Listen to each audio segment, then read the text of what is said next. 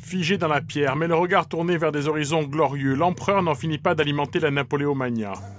Dernier avatar du genre, le déménagement de ce canot.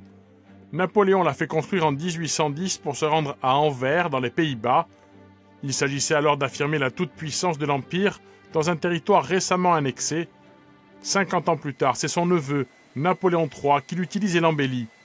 L'embarcation restera à quai à l'arsenal de Brest jusqu'en 1943, date à laquelle le canot est transféré au musée de la Marine à Paris.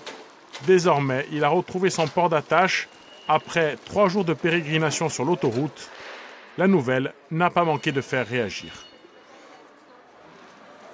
Je suis émue de voir euh, ben, ce bateau qui était ici et qui a été euh, préservé par rapport à la guerre.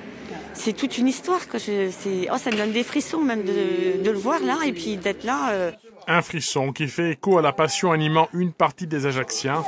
Dans ce café, à deux pas de la maison natale du grand homme, l'intérêt pour l'enfant de la cité se décline en divers objets. Accoudé au comptoir, Bonaparte écoute les conversations, sûr que l'arrivée du canot à l'arsenal de Brest ne manquera pas d'égayer le chaland.